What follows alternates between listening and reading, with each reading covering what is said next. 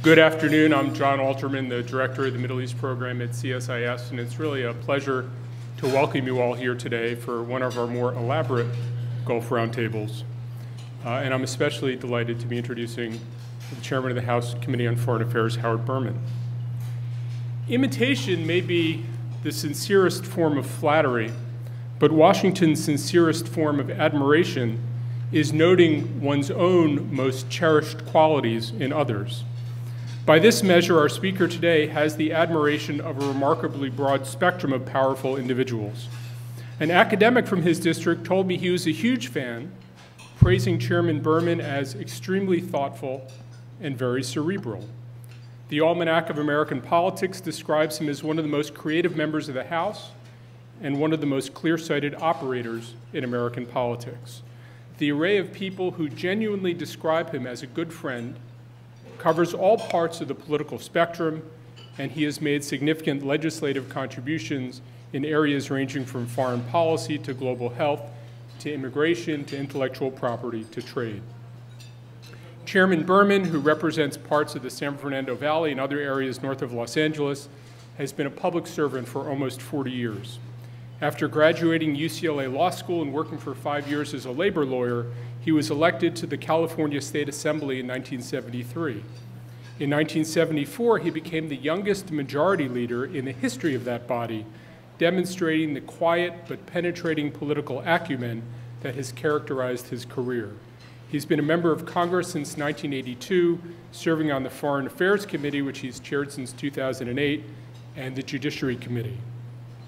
His time in the House has been a time of significant achievements. He authored amendments that reinvigorated the False Claims Act, a piece of Civil War legislation that now protects and incentivizes whistleblowers who detect contractors defrauding the government.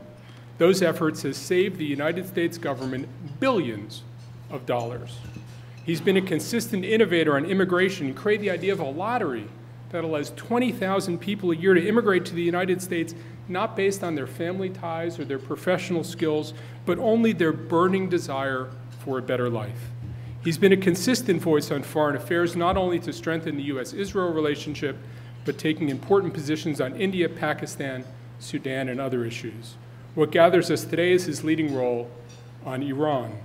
This past spring, he led legislative efforts to tighten U.S. sanctions on Iran with measures signed into law in July that deny banking access to Iran's Islamic Revolutionary Guard Corps and inhibit investments and trade in Iran's energy sector. Through his hard work, fierce intellect, and quiet efficiency, Chairman Berman has won the admiration of many in government. As one Californian active in politics said, he's the conscience and the dad of the California delegation.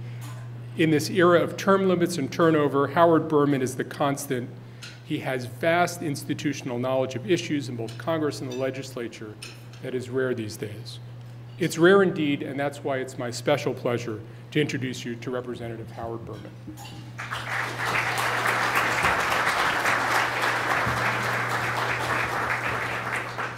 Well, that was quite an introduction. Thank you. I, uh, um, as I looked around in the room and saw some of my friends in the defense contractor community, I was wishing you hadn't mentioned my role in the False Claims Act legislation, but, but never mind.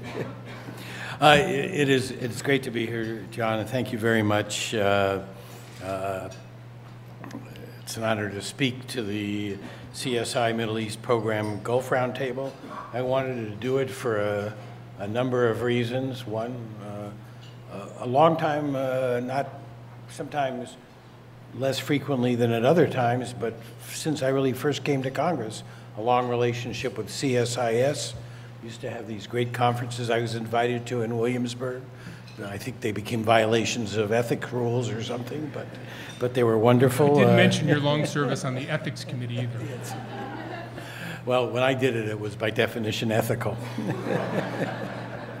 um, uh, and uh, we went to, to China with the CSIS group back in the late 1990s, and uh, and uh, I have great regard for the leader, of the John Hamre, uh, the program. And a special appeal was that uh, this particular roundtable is sponsored by the UAE. Uh, and uh, I've come to have a chance over the last few years, uh, since I became chairman, to work with the ambassador from UAE who is here today with us. And whenever I think that there are, that there's something inherently always going to be conflict in the Middle East and nothing can ever happen. I meet someone like that and think there's a there's another way, and uh, so I'm honored to be part of uh, his lecture, uh, the UAE's lecture series in this case.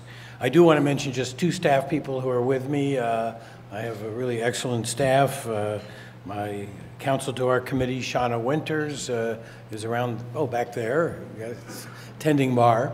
And and Robert Marcus over there is, works uh, uh, with Alan Makovsky on my Middle East issues. Uh, another reason I wanted to come is you asked me to talk about Iran. And, uh, and I, I become sort of obsessed with that subject. The CSIS Gulf Roundtable is, seeks to build a greater understanding of the complexities of the Gulf region. As we all know, the Gulf is not lacking in such complexities. For example, U.S. combat operations in Iraq have officially ended, but Iraq is struggling to form a government and build a stable nation state in a land with a diverse population and a long and contentious history. Saudi Arabia, which possesses much of the world's known petroleum reserves and is often accused of turning a blind eye to terrorist financing by wealthy Saudis, is led by an 86 year old monarch, and its future is clouded by a lack of clarity about succession in the next generation of the royal family. Qatar is blessed with massive natural gas resources, which it has turned into incredible wealth. It is home to the U.S. Fifth Fleet, but it also shares a defense cooperation agreement with Iran and maintains strong ties to Hamas. The small island kingdom of Bahrain struggles with a mixed Sunni Shia population and an aggressive Iranian neighbor. Yet, despite all of these challenges, there is one Gulf country, Iran, that presents by far the greatest challenge and threat to the Gulf, Israel, the United States, and the international community. Preventing Iran from acquiring a nuclear weapons capability is an absolute necessity for our national interests. And as chairman of the House Foreign Affairs Committee, I've made that my number one priority. Iran reportedly now has enough low enriched uranium to create one to two nuclear weapons and is perhaps only about one year away from perfecting the necessary technology to build and detonate a functional bomb.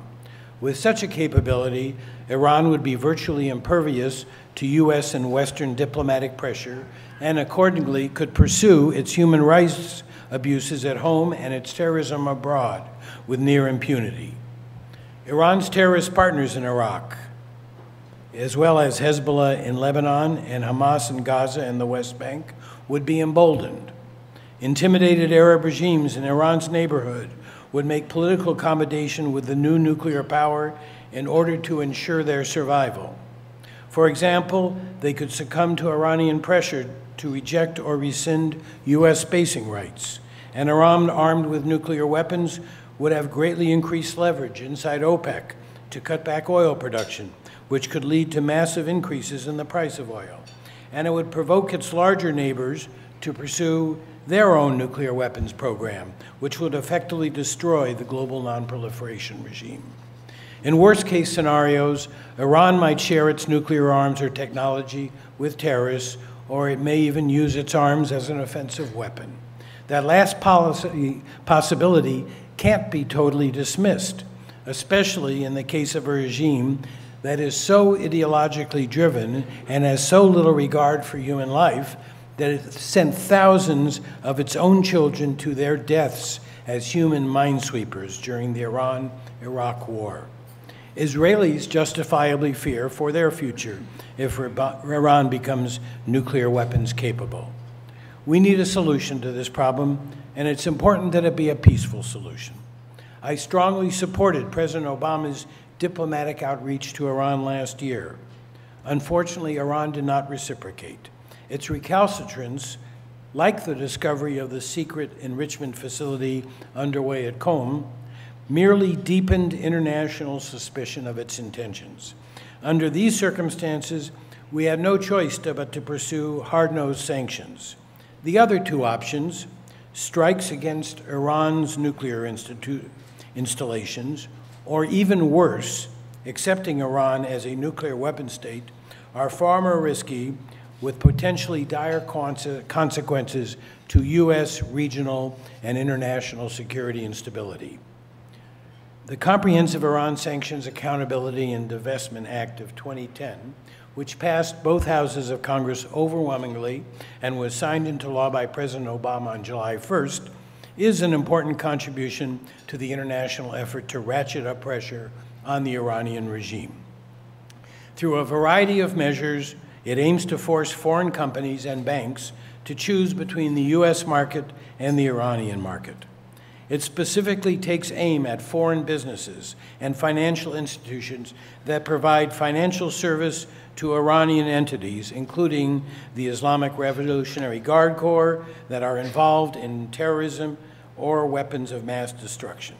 Additionally, our legislation targets foreign companies that sell Iran refined petroleum or that assist Iran in developing or maintaining its own domestic refining capacity. Likewise, it sanctions foreign companies that sell Iran's goods or services that help it to develop its energy sector. It also provides a legal framework by which U.S. states, local governments, and certain other investors can divest their portfolios of foreign companies involved in Iran's energy sector and establishes a mechanism to address concerns about diversion of sensitive technologies to Iran through other countries.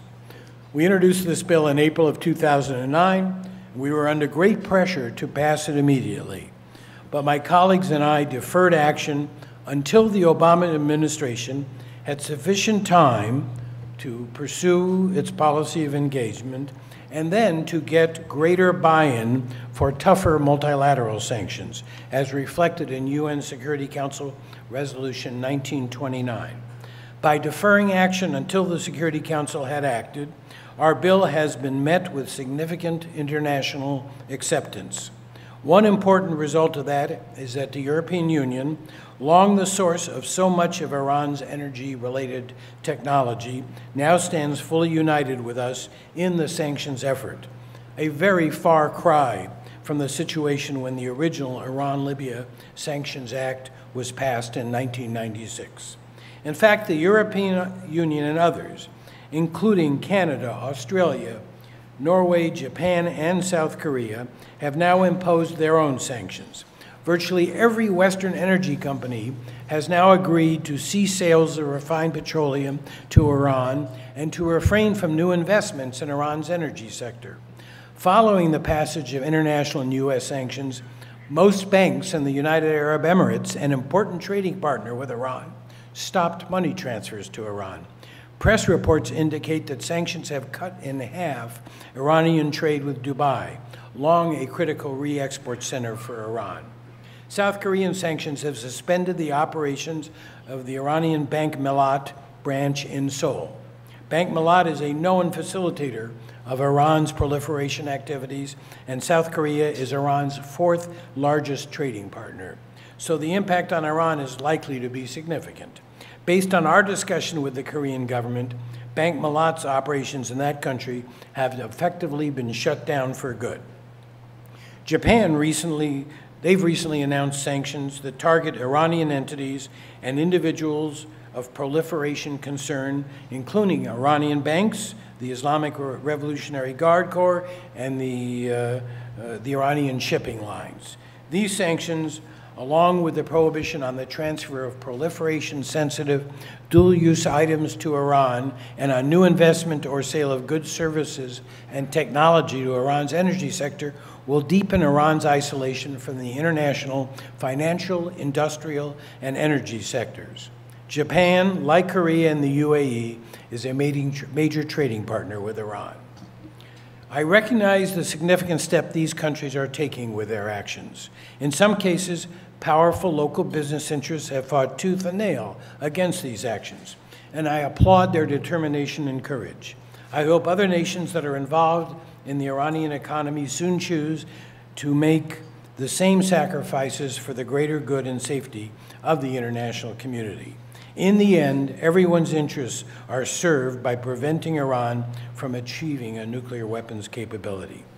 If the US, the UN, the EU, and other sanctions against Iran are properly enforced, Iran, Iran will now essentially be unable to purchase vital parts for its refineries other than through the black market, as some of the necessary equipment is available only from Western firms. We have seen numerous reports that Iran is starting to feel the squeeze. Treasury Undersecretary Stuart Levey went into some detail about this in his CSIS speech yesterday. Nevertheless, it is still early and no definitive conclusions can be drawn yet about the impact sanctions may have on Iranian government decision making. The Obama administration appears serious about pursuing sanctions. Secretary Clinton has appointed in fact, I should say they are serious about pursuing sanctions. They've, Secretary Clinton has appointed a talented policymaker, Ambassador Robert Einhorn, to head the sanctions effort in the State Department, and he has already assembled an impressive staff. In fact, was he at he was, CSIS? Yeah. yeah. So yeah. you know he's talented. Um, at Treasury, Undersecretary Stuart Levey continues his highly effective work in unmasking Iranian individuals and financial institutions involved in terrorism and weapons of mass destruction, and warning the rest of the world's financial institutions about them. Earlier this month, the Treasury Department designated for sanction the German bank EIH, which is one of the few remaining European banks actively facilitating business with Iranian banks. Treasury's action will isolate EIH from the U.S. financial system. As the international community begins to implement sanctions, it may be that China, Russia, and others, relying on a strictly literal interpretation of the UN Security Council Resolution 1929, may step up sales of refined petroleum to Iran and otherwise try to move into areas of the Iranian energy market vacated by others. Indeed, several Chinese companies already appear to be engaged in sanctionable activities.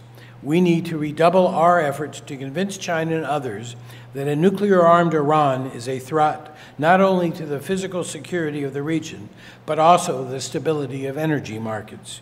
And I think it's fair to say that in the lead up to all of this, both Saudi Arabia and the UAE made direct efforts to persuade China of that fact. Congress will remain deeply engaged on this issue. I have established a congressional monitoring group that will closely follow sanctions-related developments and meet regularly with administration and foreign officials. We're fully committed to making sanctions work. My goal, however, isn't just to squeeze the Iran, Iran's economy, uh, to make them suffer or to punish them. My goal is to try and create a dynamic to change Iran's mind. We want the Iranian leadership to conclude that its uranium enrichment program and other nuclear weapons related efforts simply aren't worth the cost. I believe, I believe sanctions are our most viable, effective, and peaceful means of achieving that goal. If, as many believe, it turns out that Iran is committed to its nuclear arms program at any cost, then we will have to consider the implications of that further down the line. And with that, I think I'll stop talking, and, and I don't know if there's we, room we, in your if, schedule. You, for... I think there, there's room in our schedule, sir, and I think we'd be delighted if you had a few Great. moments to uh, to take some questions. We have some handheld mics. I, um, let's see. Oh, I actually have talked so long that I have a little time, but not okay. a huge amount. We will. Um, so, in light of, of the chairman's constraints, please identify yourself. Ask only one question and as those of you who've been to my events before know, I have a pet peeve. Statements ending with "What do you think of my statement?" aren't really questions. So please ask, please ask genuine questions the chairman can answer. First question right over here.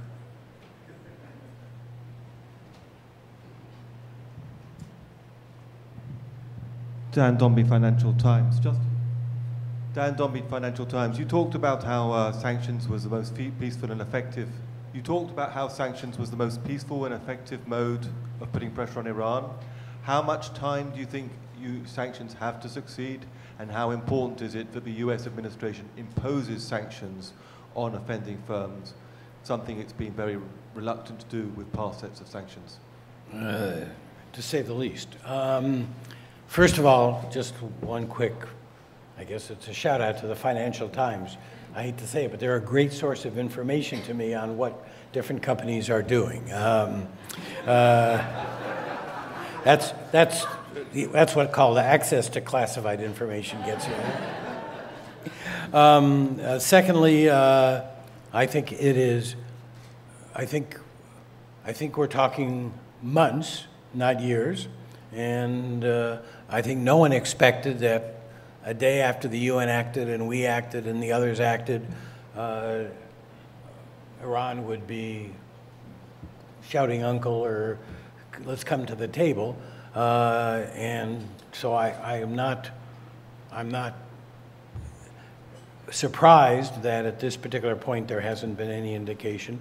But given what our goal is here, um, I think we, it's a matter of months. I don't want to get pinpointed too much uh, from now that we have to start seeing this working before people lose faith in this. And a key part of making this effective is just what you alluded to in your question. A sanctions regime which has already caused a lot of companies to terminate or to begin the extrication of their business relationships uh, that I've discussed in my talk, um, a sanctions regime that doesn't lead to sanctions will soon lose whatever deterrent effect it's had. So it is essential that uh, investigations begin, and uh, obviously, where companies choose to change the nature of their uh, commercial relationships, they, that should be taken into consideration. But where they don't, uh, sanctions should be imposed and not waived. And I think the whole credibility of everything else that's going on depends on people expecting that, that to happen. Sir, if I could ask a question. Sure. Um, what is your sense of decision process on the nuclear file in Iran? Is this a, a, an issue principally of, of Khamenei making a decision or making gestures? Is this, are you seeking to influence the president? Are you seeking to influence a group of decision makers? I mean, when you took the actions, you intended them to have a desired effect on an audience. What is the Iranian audience for the sanctions?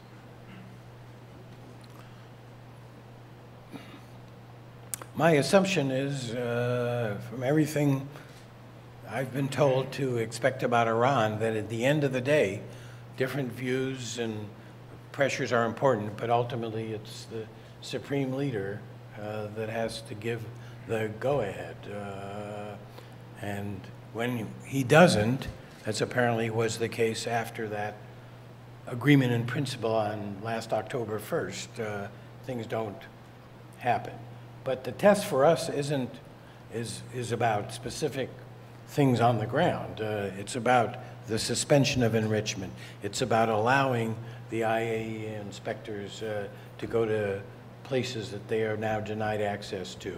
It's, it's about a whole range of, I mean, that's how we know whether that program is, is, is being suspended and ultimately terminated.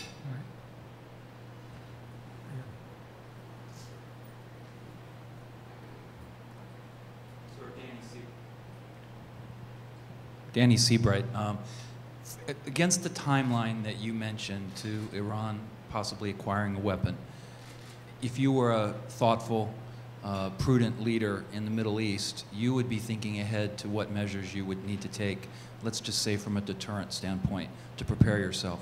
From your position on Capitol Hill, what, what would you support? What recommendations would you make to our friends and allies in the region, things that they should be doing uh, could do that, that the Hill would be supportive of uh, in the months and years ahead as they prepare for deterrence? Would a prudent and sensible congressman get into that? in this, in this venue? Uh, um, I obviously, I mean, I, I acknowledge that I don't know whether this strategy is going to produce the result and that a decisions may have to be made after that. I don't think it makes a lot of sense for me to go off and speculate on what those alternatives are. All I know is any of the other alternatives have serious consequences, only some of which we can imagine. And, um, um, and you got to drill down on that, so to speak. Right here in the Patrick Clawson from the Washington Institute for Near East Policy. Uh, you mentioned Iran's despicable human rights record. Could you talk about what um, more the United States might do to uh, speak out about human rights violations in Iran and uh, to support um, those working for democratic reform in Iran? Well, uh, the legislation that I spoke in some detail about, but never once touched on any of, of the provisions dealing with this, that legislation modified, modified the codified embargo on Iran to allow the export of certain equipment and technologies to the uh, dissidents to enhance their ability to communicate and, uh, and have access and overcome efforts to snuff out their technology. Uh, We separately, on the other side of the coin, imposed procurement sanctions on companies that are providing technology to the government to allow them to, uh, that enhance their ability and facilitate their ability to uh, uh, suppress speech and communication and, and particularly in the, in the digital world. Um, the, and, and I think we have an obligation to talk about those issues.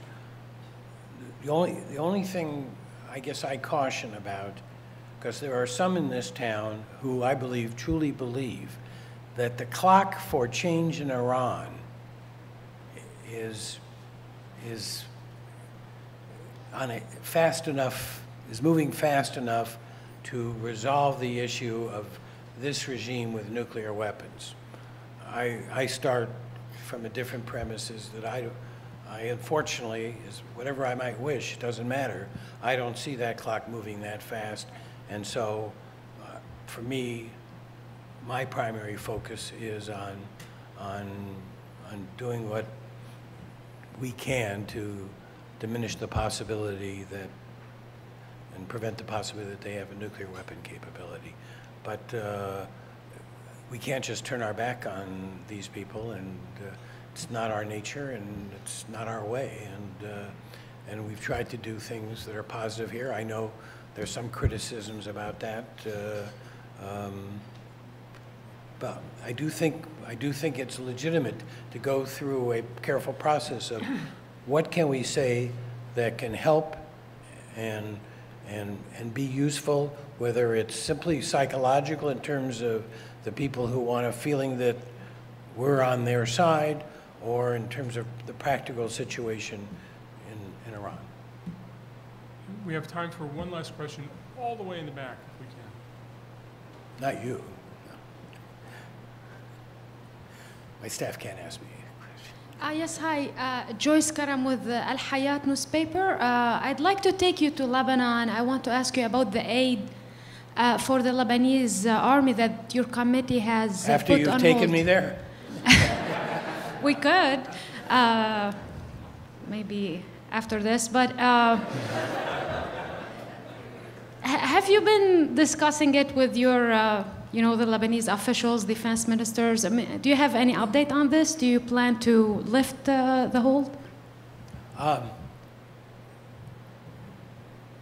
Perhaps as a result of the hold, the administration has done an interagency review about the program. They've completed that review, and they just, I want, and I want to know about that, what, what that review concluded, what our goals are. I didn't put on that hold in order to kill the program. I was curious, I truly was, I was honestly puzzled about what we're seeking to gain from this assistance and how we square what we want to gain, a program which I was a strong supporter of when it originated back in the middle of uh, this, this past decade, uh, uh, whether that's, we're still able to achieve those goals. So there's a process that we're coming to a head on, and, uh, and I'm not just going to sit there and leave it like this. And while I have not yet, I have some appointments on my calendar to talk, I have not yet talked with Lebanese officials. I believe I have spoken with every Lebanese American in this country. No,